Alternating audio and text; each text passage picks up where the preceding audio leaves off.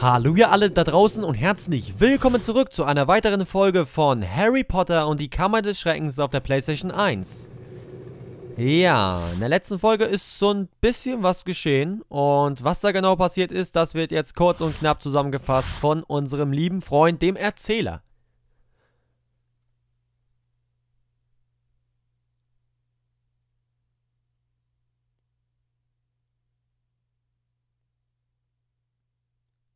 Draco Malfoy beschimpfte Hermine als dreckiges Schlammblut. Als Ron versuchte, ihn mit einem Fluch zu belegen, explodierte sein Zauberstab und er spuckte Schnecken. Harry folgte Ron, der zu Hagrids Hütte eilte. Nun müssen sie Hagrid finden, damit Ron aufhört, Schnecken zu spucken. Genau. Das ist alles passiert und jetzt müssen wir Ron begleiten und das wird eine richtig fiese, miese, dreckige, stinkige Rutschpartie. Das weiß ich noch allzu gut. Hast du gehört, dass die Slytherins einen neuen Sucher haben? Wer kann es wohl sein? Ich bin das. Sieh mal, was mein Vater dem gesamten Slytherin-Team gekauft hat. Das allerneueste Modell kam erst im letzten Monat raus. Ich glaube, er schlägt den alten 2000er um Längen. Zumindest musste sich keiner von den Gryffindors in das Team einkaufen. Keiner hat dich nach deiner Meinung gefragt du dreckiges kleines Schlammblut. Dafür wirst du bezahlen, Malfoy. Ron, bist du okay? Mir geht es nicht gut.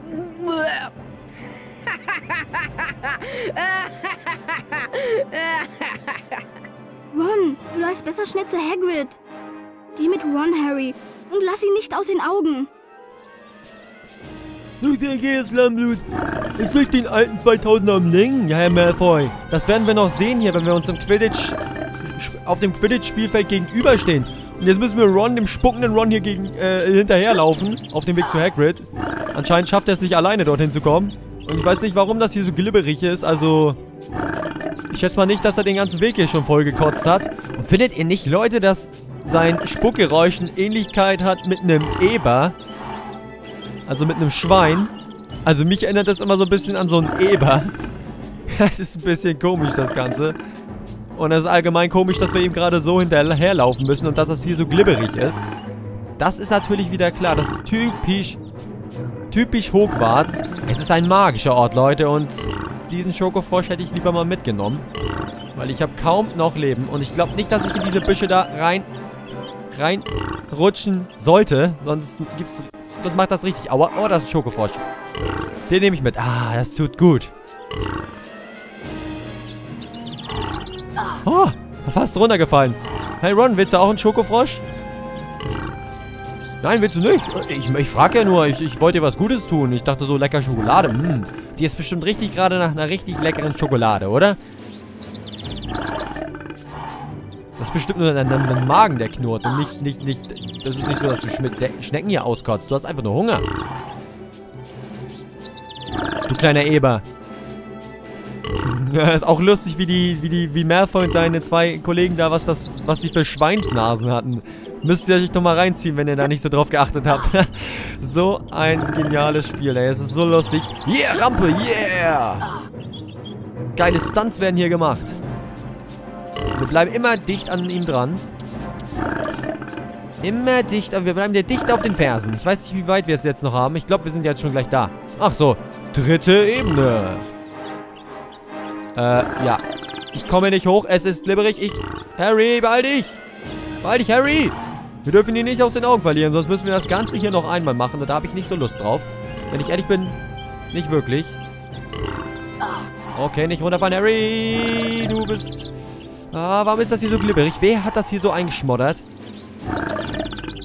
Ehrlich, das kann doch nicht von Natur aus hier so glibberig sein. Das muss doch irgendjemand... Irgendjemand muss hier doch, keine Ahnung, irgendwas hingeschmiert haben oder was weiß ich. Oh, ich nehme den Schokofrosch mit. Wir müssen uns so langsam so ein bisschen heilen mal wieder. Ich will endlich mal wieder volle Energie haben. Ist voll blöd, das Gefühl, die ganze Zeit nicht mit voller Kraft mit bei der Sache zu sein. Wir wollen doch das ganze äh, Potenzial von Harry Potter ausschöpfen. Und das geht nur, wenn er volle, volle Lebensenergie hat. So, jetzt sind wir bei Hagrid, oder? Da ist doch seine Hütte. Hagrid, der Eber, ist angekommen.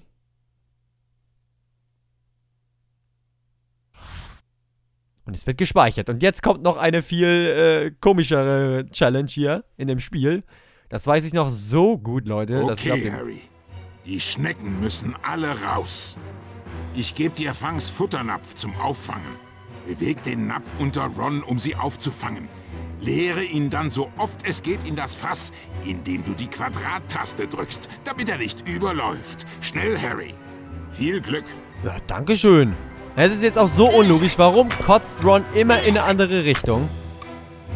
Das ist so unlogisch. Das ist so verdammt unlogisch, Leute. Oh, ich, achso, ich muss das natürlich neben dem Napf neben der, neben dem Fass leeren. Sonst äh, bringt das Ganze nichts. So, Hagrid, ich glaube, ich hoffe, du hast nichts dagegen, wenn hier ein paar Schnecken auf dem Boden liegen. Oh. Ron, kannst du nicht bitte in eine Richtung nur die Schnecken ausspucken? Das ist ein bisschen blöd hier gerade mit deinem Hin- und Hergeeire.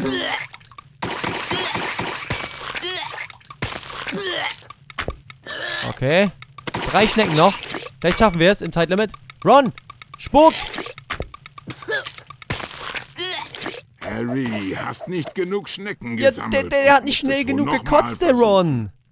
Ron hat nicht schnell genug gekotzt. Und ein paar sind auch daneben gegangen. Okay, Harry.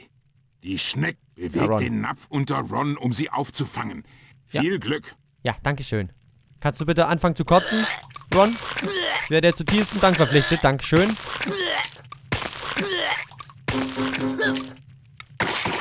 So, nächste. Es dürfen nicht so viele Schnecken daneben gehen. Ich werde den Napf jetzt immer voll werden lassen. Also ich lasse den Napf... Was war das für ein Satz von mir? Also ich werde den Napf jetzt immer voll... Äh, also ich lasse den Napf jetzt immer voll werden, sagen wir es mal so. Damit, ja, wir die maximale Kap... Okay, das war jetzt nicht voll. Aber wir, schon, wir sind schon ganz gut dabei. So. Jetzt sind wir schon viel besser dabei. Das, das, das, das wird jetzt kein Problem. Easy. Gut gemacht, Harry. Das war eine gute Leistung. Dankeschön. Ja, ich bin auch voll äh, begeistert von meiner Leistung. Ich bin so stolz auf mich jetzt hier. Ich habe Rons Kotze aufgefangen in einem Napf. Und er hat uns das nicht so leicht gemacht. Er hat immer in verschiedene Richtungen gekotzt. Das mache ich Wie eigentlich auch. geht es dir, Ron? Ich will nie wieder Schnecken sehen, solange ich lebe. Beim nächsten Mal kriege ich Malfoy. Wie kann er Hermine nur Schlammblut nennen? Ron, es ist nur ein Wort. Ja, aber es ist so ziemlich das Gemeinste, was ihm einfallen konnte. Schlammblut ist ein wirklich schlimmes Schimpfwort für jemanden, der aus einer Nicht-Magier-Familie stammt. Ein paar Zauberer glauben, sie wären besser als alle anderen, weil sie reinblütig sind. Danke, dass du mich verteidigt hast, Ron. Besonders weil doch dein Zauberstab kaputt ist. Bäh, Ich kann die Schnecken immer noch schmecken. Ich muss mir, glaube ich, mal die Zähne putzen. Mist, schau mal auf die Uhr. Wir sollten schleunigst zur Verteidigung gegen die dunklen Künste gehen. Muss das sein? Also Harry, ich weiß wirklich nicht, was du gegen Professor Lockhart hast. Er ist doch ein fantastischer Lehrer. Na, zumindest glaubt er das. Verteidigung gegen die dunklen Künste findet im Oberschloss statt. Ich bringe dich hin, Harry. Du bringst uns nirgendwo hin. Wir treffen hier unsere eigenen Entscheidungen. Okay, sie geht da rein, aber ich gehe da nicht rein. Die kann mich mal. Tschüss. Ich würde jetzt eigentlich ganz gerne nochmal nach, noch nach draußen gehen. Weil ich würde gerne jetzt das Quidditch-Training, das fortgeschrittene Quidditch-Training noch weitermachen. Und dann können wir ja in der nächsten Folge eben zur Verteidigung gegen die dunklen Künste gehen. Aber jetzt möchte ich ganz gerne wirklich noch nach draußen gehen. Wenn ich hier irgendwie noch rauskomme. Kommen wir hier irgendwie noch raus, Leute? Ich gehe mal zur vorderen Halle. Hier muss ja irgendwo ein Ausgang sein. Hier ist der Typ, der uns immer fotografiert. Colin Greevy oder wie der heißt. Ich weiß es nicht. Ist mir eigentlich auch völlig egal. Mit dem haben wir nichts am Hut. Mit dem haben wir überhaupt nichts am Hut. Nichts. Okay. Na, das sieht vertraut aus hier. Kommen wir nach draußen oder ist es abgeschlossen? Das Schloss wird ja wohl nicht abgeschlossen sein. Die haben gesagt, wir können jederzeit da zurückkehren. Und dann werden wir das jetzt auch machen. Das würde jetzt nämlich noch ziemlich gut in den Zeitplan passen. Das wird jetzt keinen Sinn machen, wenn wir jetzt noch irgendwie damit anfangen würden und dann ja, ist es dann sofort wieder vorbei. Ich will die Folgen ja nicht so lange werden lassen immer. So, da ist das Quidditch-Trainingsfeld und er hat gesagt, es gibt noch ein fortgeschrittenes Training und das werden wir jetzt natürlich absolvieren.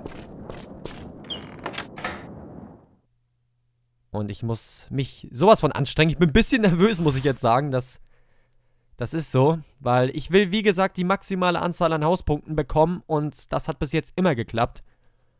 Bis jetzt in diesem Schön, Projekt dass schon. du wieder da bist. Lass uns gleich mit dem Training beginnen.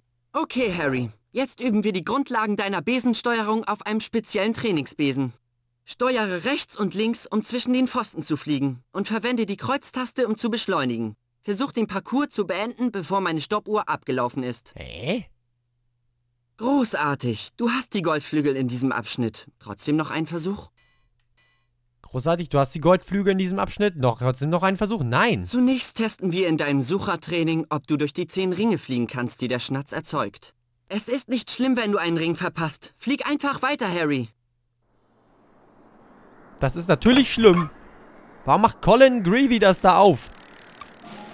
So, Flieg durch die Ringe, Harry. ich fliege durch die Ringe. Ich werde sowas von durch die Ringe fliegen. Äh, Das ist gut. ja, ne? Bin auch voll überzeugt von mir gerade. Harry Potter, wie er eh fliegt auf dem Besen, geschmeidig wie ein, wie ein Schwan in der Luft. Gute Arbeit. Weiter so. Oh Das Mann, wie er durch die Lüfte fliegt und schwenkt und das ist schon atemberaubend. Das ist absolut phänomenal. Klasse. Dafür bekommst du die Goldflügel. Oh ja. Das ist das Einzige, was für Harry Potter zählt. Die Goldmedaille. Wie bei Olympia. Es zählt nur Gold. Möchtest du noch ein bisschen üben? Äh, nee. Mir scheint, du hast raus, wie man den Schnatz jagt. Mal sehen, ob du ihn auch fangen kannst. Fliege durch zehn Ringe. Bewege dann deine Hand auf den Schnatz zu und drücke die Kreuztaste, wenn sie auf dem Bildschirm erscheint. Okay. Zehn Ringe. Flieg durch die Ringe, Harry. Ja, das ist mir bewusst. Ich weiß, ich muss durch die Ringe fliegen. Okay. Noch acht Ringe bis zum Ziel. Genau, Harry. Okay. Das ist echt gar nicht so Genau, schwer. Das ist einfach. Also das, das durch die Ringe fliegen ist einfach und das Fangen ist eigentlich auch kein Problem.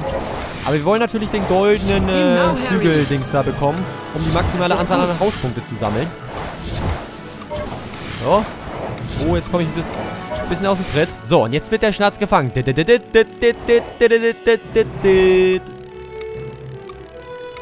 Komm schon. Boah, ich hasse diesen Move. Wir müssen im richtigen Moment X drücken, wenn das da steht. Oh nein! Komm schon. Jetzt. Klasse. Boom. Dafür bekommst du die Goldflügel. Selbstverständlich gibt's die Goldflügel. 305 Punkte. Oh mein Gott, Harry Potter. Möchtest du noch ein bisschen üben? Nein. In einem Quidditch-Spiel erhält der Sucher, der den Schnatz fängt, 150 Punkte für sein Team. Meistens gewinnt dieses Team dann auch das Spiel.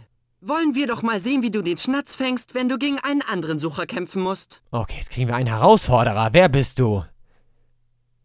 Ein unbedeutender Bereit? Typ. Drei, Zwei, zwei, eins. eins. Los.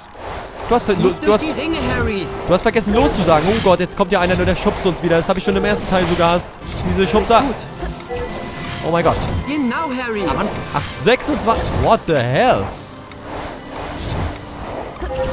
Ich hoffe, dafür gibt es dann noch Genau, Goldflügel. Oh Gott, ich bin ab einen Ring verpasst. Ich hoffe, das ist jetzt nicht so schlimm. Oh Gott, noch ein. Oh Gott. Gute Arbeit. Weiter so. Oh Gute komm. Arbeit. Weiter 20 Ringe noch. Noch 20 Ringe. 19. 18. so. Genau, Harry. 17. Gute Arbeit. Weiter so. 16. Okay, äh, ich hab's langsam. Ich hab langsam den Dreh raus. Oh. Oh, der war knapp. Hat aber trotzdem noch Gute gereicht. Arbeit. Oh so. Mann. Was ein Genau, Druck. Wir haben einen. Konkurrenten. Der meint es ernst. Aber kein Problem für Harry Potter. Will man meinen.